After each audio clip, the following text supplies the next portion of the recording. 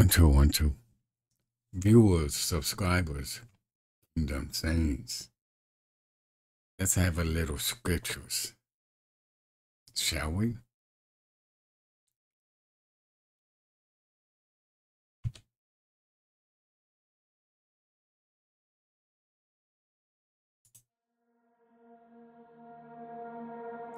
Hebrews 7:25 Wherefore he is able also to save them to the uttermost that come unto God by him, seeing he ever liveth to make intercession for them. Wherefore he is able to save them to the uttermost. He'll save anybody, anybody from the guttermost to the uttermost, which is heaven. Them that come unto God by Him, by Jesus, the mediator, seeing He ever lived to make intercession for them. Jesus, the mediator, making intercession for us to God. He is the mediator.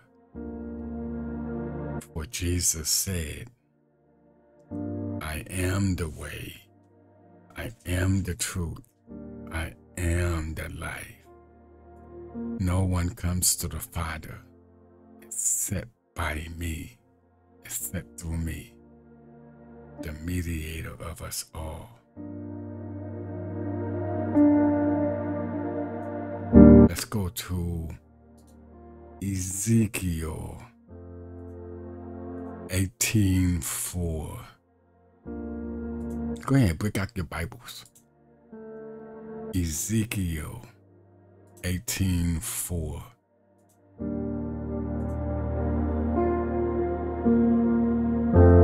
Go ahead, I'll wait for you. Ezekiel. Say hallelujah when you found the page. Ezekiel 18:4 Behold, all souls are mine, as the soul of the Father, so also the soul of the Son is mine. The soul that sinneth, it shall die. Only God has power and authority over everything in this world, the heavens above and below the earth, including life and death. Only God has power and authority over life. Death. Your soul belongs to Him. He created you, did He not? Your soul belongs to God the Father. God said, From dust you came, to dust you shall return. But your soul belongs to me. Yes. Amen. And the soul that sinneth, it shall die. Which is why you must get right with Christ today, because he is the one who will make a way when there seems to be no way. Let's go to Jeremiah 17:9. Jeremiah 17:9. The heart is deceitful above all things and desperately wicked. Desperately wicked. Who can know it?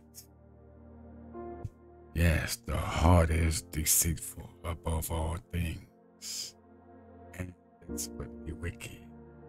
Who can know it? Your friend that claims to be your friend will stab you in the back. Everyone around you that claims to be your friend Some the Lord have put in your life for a season. Some are in your life for a purpose. Some are false and some are true. But in the kingdom of God, we are all brothers and sisters. The heart is deceitful. But God will take that hardened heart and turn it to turn that heart of stone into a heart of flesh. So you can have true understanding and knowledge of the compassion and the love that God has for us. Am I right about it? Alrighty then. Let's go to Hebrews 2 3. Hebrews 2 3.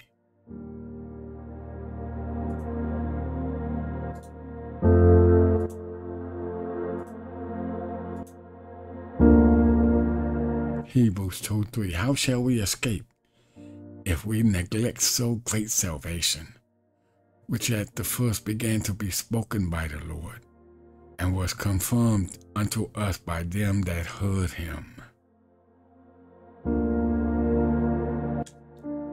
You cannot escape the truth.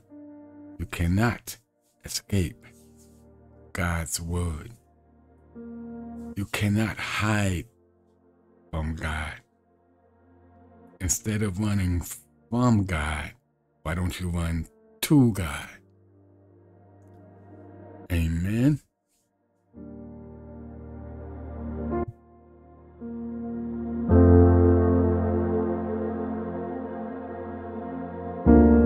So great a salvation, which at first began to be spoken by the Lord, which is Christ Jesus, during his ministry he preached salvation and hellfire. Amen. He preached salvation.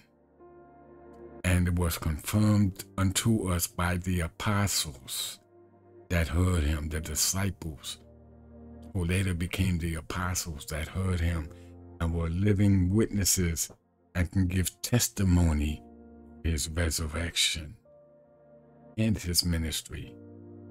Yeah. How great a salvation.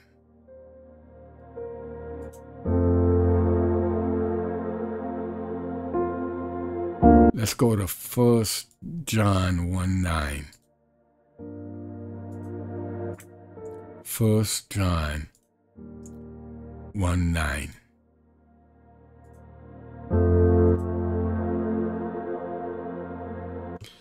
If we confess our sins, he is faithful and just to forgive us our sins and to cleanse us all from unrighteousness. Just imagine everything you've done, even since you was a little baby, baby, baby, teeny weeny baby. Everything you've said, everything you've done, everything you've committed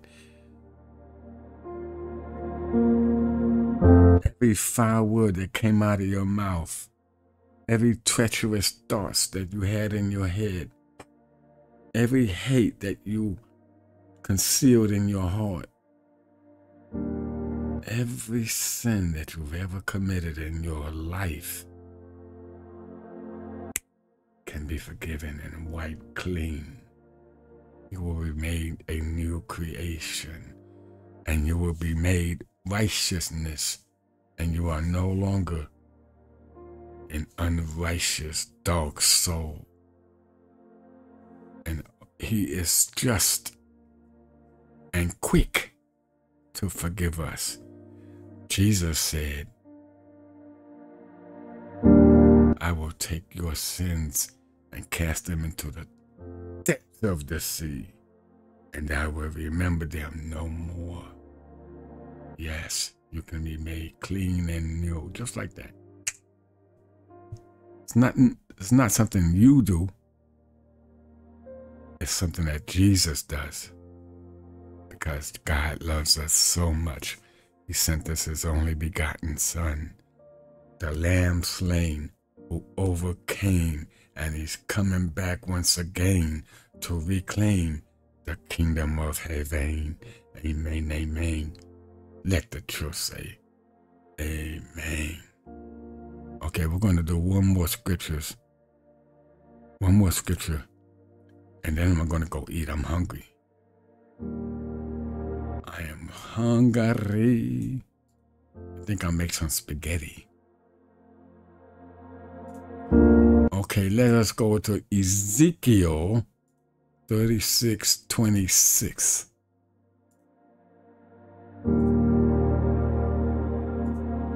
Ezekiel 36 26. By the way, you guys like my music?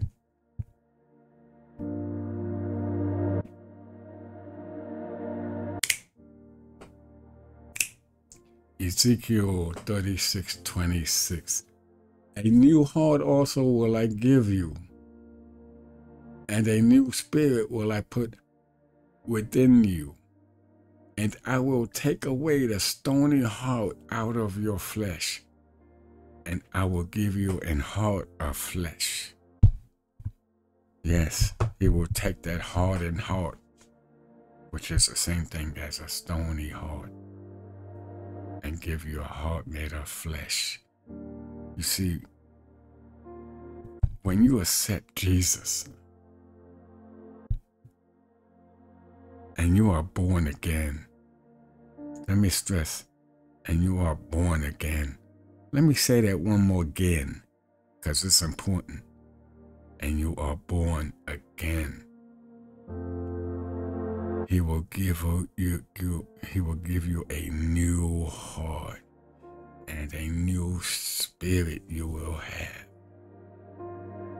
And He can do it because God can do anything and everything. He has total control, power, and authority. Amen. Amen. Jesus said to Nicodemus, when Nicodemus asked him, well, let me start from the beginning. Nicodemus was a Pharisee, but he admired Jesus and he listened to his teachings. And he was in awe. He wanted to be saved. He wanted to be saved. So Nicodemus invited Jesus to his house because they had to do it in secret can't do it in front of the Pharisees because the Pharisees was against Jesus. They was always trying to trick him and trap him. They were the ones who crucified him. So Nicodemus asked Jesus, he asked Jesus, he said, Master, what must I do to be saved? And Jesus said, you must be born again to enter the kingdom of heaven. You must be born again. And Nicodemus was confused and said, Huh? Master, what do you mean? Must I enter into my mother's womb and come out again? And Jesus said, No. John the Baptist, John the Baptist baptized with the water. But I, I baptize with the Spirit and the fire. Yes, you must be born again. And He will give you a new heart. You will have a transformation. And you'll be saved from the decimation of this wicked nation through God's proclamation that we are all in dire eradication, and this world is coming to a dire cessation. So don't refuse the salvation. Walk with Jesus every day in justification. And when you see Jesus face to face, you will give him a warm embrace and he will take you with him to his heavenly place. Amen. Amen.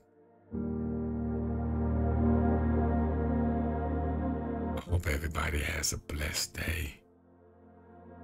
Thank you for watching.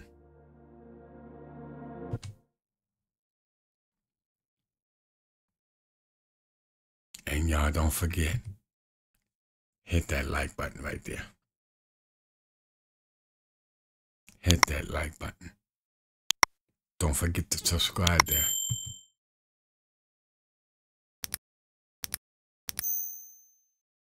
Open your Bible today. Open your Bible to pray. Open your Bible today. Open your Bible to pray. Open it. Open it. Open it.